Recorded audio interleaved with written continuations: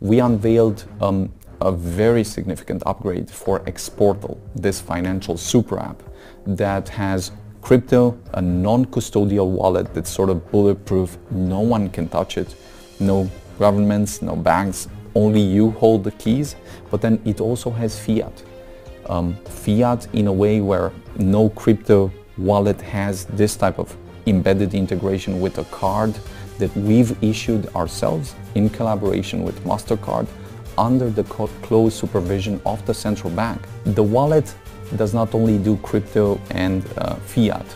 um, it will have IBANs in the wallet directly, peer-to-peer -peer payments. It has a kind of app store for decentralized applications and we've also moved the X Worlds discussion directly tied to xPortal in a way where we have